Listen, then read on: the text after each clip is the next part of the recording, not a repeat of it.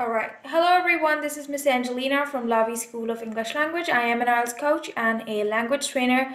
Today in this video, I will be letting you guys know that what are the common mistakes that people normally make when they are writing an IELTS essay. Doctors, teachers, engineers, or even professors who come for um, an IELTS assessment, writing assessment, they are not bad at English at all. The only problem that they face is probably not knowing what to write. Because I feel that in this country in particular, since your school, college, or your university, everyone is into writing descriptive essays. You kind of write essays, those are very descriptive in a sense. For example, my house or Die or probably, uh, you know, the one word titles. So whenever it is a long statement, you get really confused. You're like, okay, I really can't get it. Um, IELTS essay is very different from the essays you've been writing all your life because these are not um, descriptive essays. We've got opinion based essays. You need to know what you should be doing because in IELTS writing task 2, you're supposed to write only 250 words within 40 minutes. So you should be very clear what you should be writing and what it should be all about. So in this video, I hope so I'd be able to help you that if you've got a question that is having a conflicting point of view. For example, I'm going to show you a question in front of you. Um, you you can see for yourself that normally people start describing the terminologies rather than writing what the examiner is asking. Um, let's give it a look that how we can improve on the essay writing that is IELTS essay writing.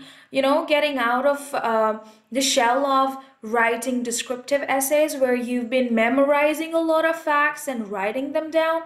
And it's kind of very, very I guess so. People find essay writing as something very boring, and people think that, oh my god, essay writing means retaining a lot of information and definitely taking help from the internet because their opinion doesn't matter. Well, IELTS essay is pretty much not like that.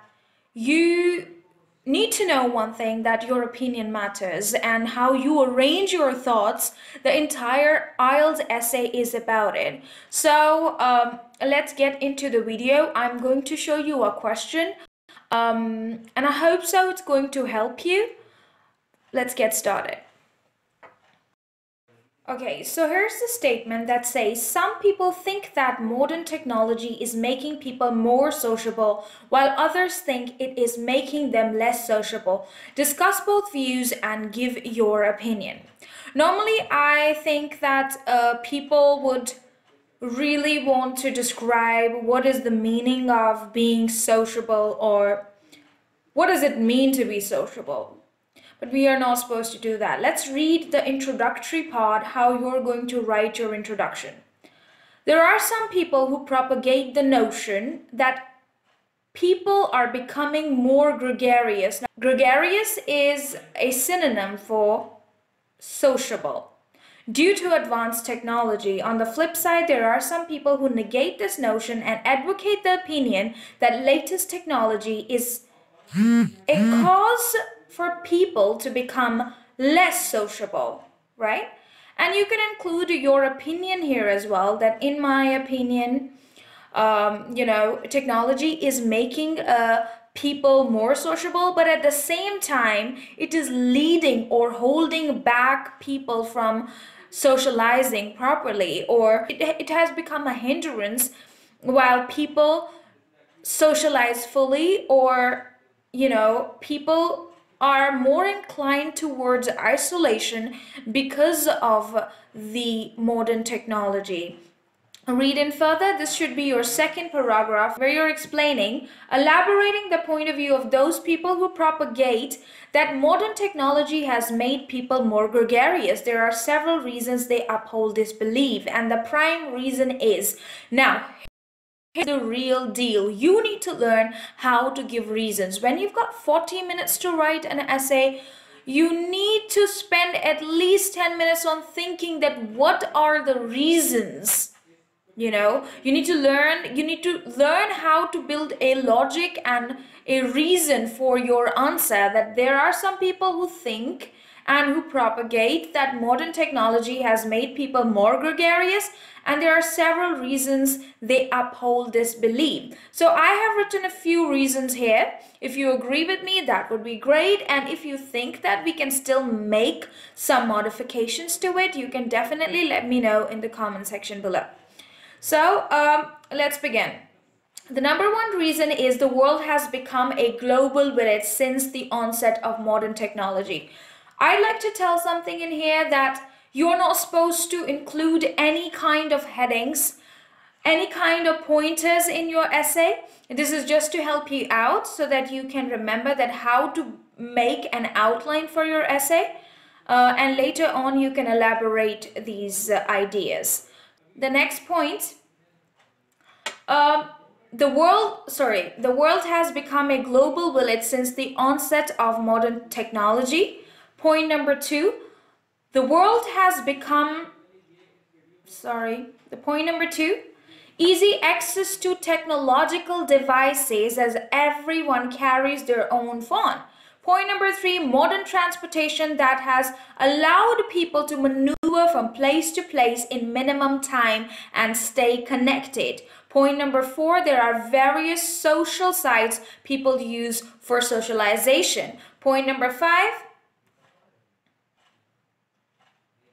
Modern technology users have become habitual to text messages, audio or video calls. Normally now people are very sociable. I believe that just because of that one gadget or one mobile phone that everyone is carrying, even if you don't want to text someone, you will just take it out and, you know, just call someone or it's an audio call or a video call or I don't know. People are just doing it out of a habit rather than, you know, necessity or they don't really need it. They're doing it for the sake of habit.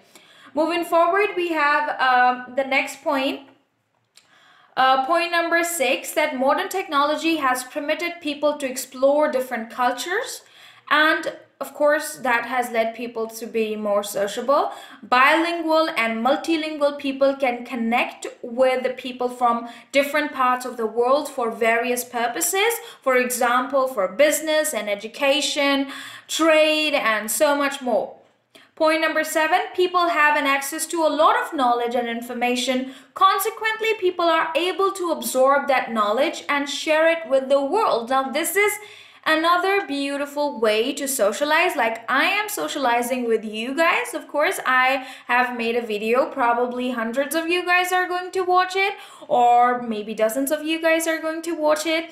Uh, because i am socializing with you. I am sharing some kind of information with you. So moving forward, um, point number uh, eight, like influential people of the world can make an impactful statement through the use of social media and change lives of millions. You know that we've got Twitter, we've got Facebook, we've got Instagram, and all influential people, either they are film stars or they are pop stars or they are, you know, religious icons or whoever they are, religious leaders or whoever they are, they are using the social media and they they use social media to socialize with millions of people and of course when they put a statement somewhere millions of people get really influenced by that Moving forward to the next passage, um, delineating the point of view of those people. Now, once you have given reasons for, uh, you know, why people are becoming more sociable because of modern technology, now it is time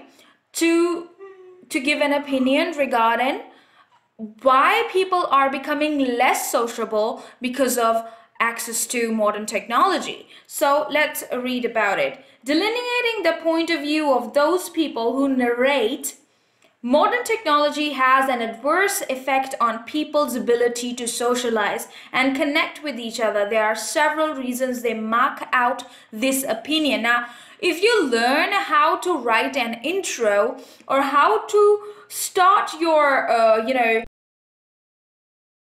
paragraph, half of your task is sorted already because then you can think about the reasons by yourself and you can make this essay quite pretty to get a 7 band also. Um, let's let's go through the reasons. Uh, people's obsession with technology and how they have lost the real in-person human communication. Point number two, people are so busy with their gadgets. They like being isolated, being lost in the world of internet as a distraction. Definitely, I'm also one of these people that, uh, you know, I really get lost in the world of internet. I think it's with everybody. You know, we pretty much enjoy being ourselves and we don't really want to talk to someone. We are happy with the phone that we have. Moving forward, point number three. Uh, people are having weak family ties. Of course, if you've got a family get together, if people are having um, you know a, a, family event or something like that people are definitely not into interaction people would normally be busy with their phones and stuff. So I think so. People are having weak family ties and people are uh, not having the ability to spend time and listen to each other attentively. And that is the major major problem that you know attentive listening it really matters. So i think so because of technology people people kind of kind of losing their empathy as well, how to understand somebody. So point number four, people try to do everything online. Uh, like uh, shopping, paying bills, conducting virtual meetings. Now let's talk about this point. Like everyone is into into online shopping. When you go to a shopping mall, whenever you visit, um, like um, you know a bank or something like that you get a chance to socialize with someone. You might be talking to the shopkeeper. You might be talking to uh, you might be talking to somebody who's standing next to you in the queue. Um, so probably by doing everything online we are reducing the chances of socializing with the people. And you know that face-to-face -face communication or that in-person communication definitely that is not happening these days Number five, a sedentary lifestyle. People love to sit at one place and people are not outgoing and um, they have, uh, you know, talking about this point that's written in here, that sedentary lifestyle that has limited people and people are not into outdoor activities and they're not outgoing uh, at all. So people do not really like to go out or, you know, be with people or, you know, explore nature I think so. It's probably because of technology and people just want to sit at one place and do their own thing. Um, so I think these are the points that I have written that how technology, modern technology, uh, is making people uh, less sociable. Uh, the conclusion should be very, very simple. I have seen that normally what people do that in conclusion, people try to write everything new. So conclusion should not be like that. Conclusion should be like 20 to 25 words where you can say that in conclusion or you can say that um, you can pretty much say that to recapitulate or to summarize uh, where technology, modern technology or latest technology is is is is is helping people socialize at the same time it is stopping people or upholding people from socializing or people are more into isolation and sedentary lifestyle and people try to avoid in-person communication. So this would be the pretty much um,